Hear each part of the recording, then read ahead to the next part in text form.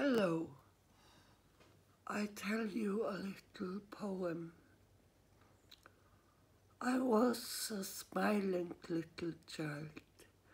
A little later, I was a wild child. Since I became a wild young, a wild, a wild wife, now I'm a tired widow.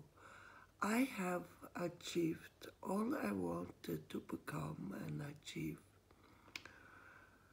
I am free and I'll die wild and free, sending a grateful smile to all of you. Best wishes, Elin Josefina Smith. Smith.